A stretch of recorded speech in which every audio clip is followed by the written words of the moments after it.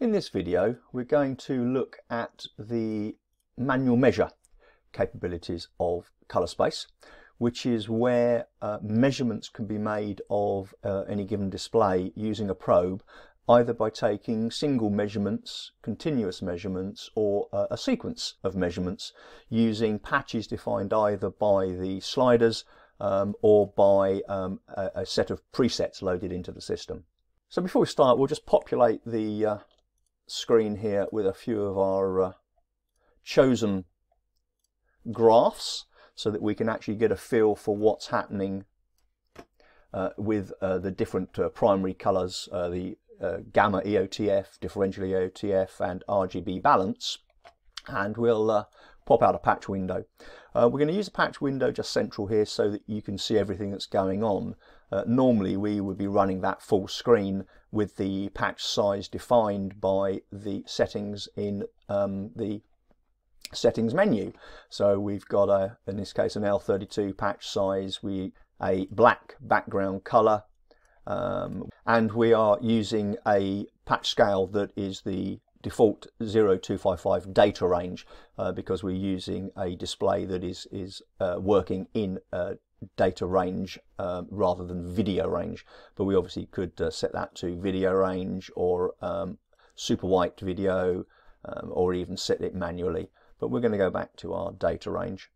Now at the moment we're targeting Rec 709 and we've got a preset minimum uh, and maximum values uh, both for the profile data because a black and white patch are set automatically when you start a new profile um, as well as the target being set to 0 um, and 100. Within the manual measure menu we have um, a zoom widget and a bars widget. The zoom widget shows how far off the colour is um, compared to the target, which is always the centre, and the bars widget shows the similar information but as um, RGB or HSL bars, uh, including a luminance bar and a delta E bar. Below that we have some basic information on the target colour space. We have um, the min and max values for the target colour space as well as the actual min and max for the profile uh, with the uh, contrast ratio data. Um, we also have the target Y uh, luminance and XY values and also the actual and then what the error is either shown as a percentage deviation um, or as a value deviation. The test patterns opens up a window that gives you access to a number of different test patterns that replace the patch generator. So again, a double click to make them full screen. So here we have a probe alignment test pattern. And then we have uh, contrast and brightness, which are both flashing patterns. So you can see uh, where clipping is occurring either in the highlights with contrast or the lowlights with brightness. And then you have more specialized patterns such as um, ANSI contrast in two different forms. And we have the more specialized uh, corner box test patterns, which enable you to check for uh, display contrast on displays that have uh, dynamic backlights. So I have corner test pattern 1 and corner test pattern 2. And we'll be adding more images such as uh, black and white ramps and uh, Granger images uh, as uh, time progresses. Setting the test patch colour can be done using the sliders, which here are locked together to give us a grayscale, or via presets, which can be loaded as a CSV list, uh, so something like grayscale large, which gives us 33 patches of grayscale plus red, green and blue primaries. More importantly, the presets uh, can be user defined to match the uh, CMS of any given display, uh, specifically consumer televisions. So for example, the display we're using here um, has a 10-step grayscale uh, within its internal color management. So we can use uh, Excel, if we open up an example of this to generate a simple 10-step patch set, which we have here. So we have 10 steps of grayscale from black to white plus red, green, blue primaries uh, using a slightly lower than 100% value, which is uh, what we tend to do uh, when we're setting uh, gamut uh, rather than using the full 255 where clipping may occur. But again, that could be a, a, any value that you choose. So if we were to uh, load that in, there we have a 10-step grayscale, again with our RGB primaries. And we can now use the patches uh, to directly change the uh, actual patch color um, or go back to our slider. If we uh, unlock the slider controls we can use these to um, set any alternate patch color.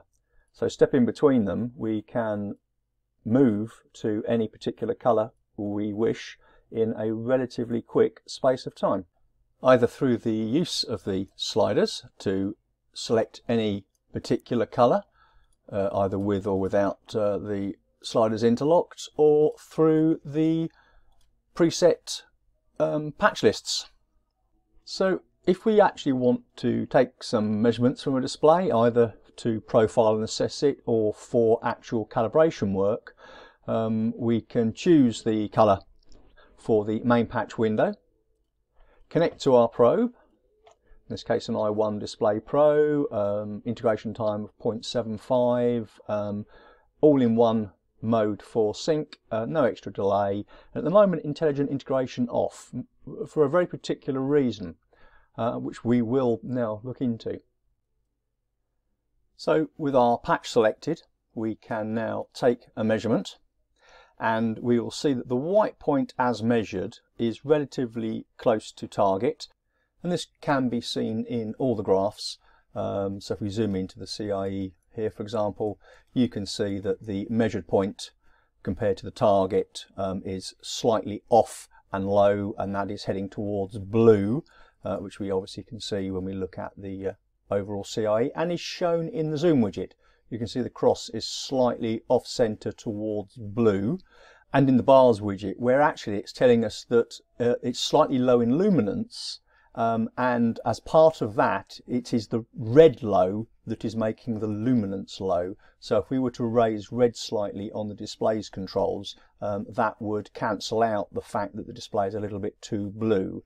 Um, the, the amount of error we're seeing here is probably below the threshold of most uh, TV uh, controls um, to correct but it gives you a, an idea as to uh, what the graphs themselves do.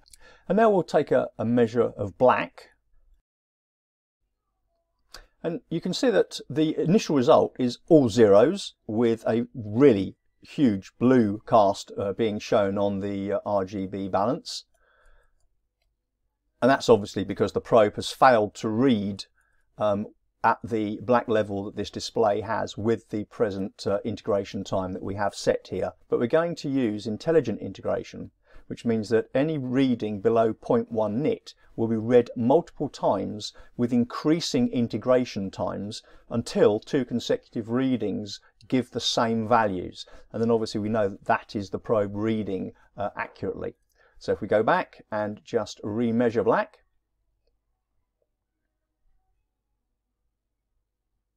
you can see now we get a set of actual values and the measured point is fairly consistent with what we'd expect, being a bit blue from target, as shown by the zoom widget. So this shows you that we have the same blue offset, and the RGB bars in chroma only mode show us that we are high luminance, because our target luminance is zero, uh, high blue, um, low green, and lower red. Um, obviously, the luminances now needs to be updated to the actual measured values, so we will just go in and click that and now we can see that our luminance error is, is zero, but we have a chrominance error. If we turn off chroma only, it shows that actually there's no error. That's because the delta E is so low that the color error is negligible. But obviously we know there is a color error and we do want to see that. So chroma only gives us that option. We can now just run through the patches uh, either with Auto Advance, which will measure each patch in turn using intelligent integration below values of 0.1 nit. The CIE graphs will update as the measurements are made, while the 1D graphs will update uh, at the finish. And then we can see that we have our EOTF, we have our differential EOTF, as well as the RGB balance. And we've got our zoomed in uh, graphs here showing us our actual measured red, green and blue compared to target. We can now use the patch sets to actually look at each measurement in turn. So we can see the error uh, either in the zoom widgets um, or in the values or in any of the graphs. Um, and every time we click a color, it will go to that particular patch. And if we want, we can go back to any given patch. So for example, say um, patch 1, which is the 10% patch here, and say, well, let's re-measure that to see if the original measurement was accurate. We can even step back into the uh, probe options, and although we are reading here um, a luminance of 0.5 nits, so we are above our intelligent integration threshold, we could either increase that or just increase the uh, integration time, go back and measure, and now it, it will do a longer integration of the 10% patch, which is not hugely different in this instance. And we can go back and put that back to our usual 0.75 we've been using. More importantly, we can use this um, using repeat measurements to start to make adjustments using the display's own color management system.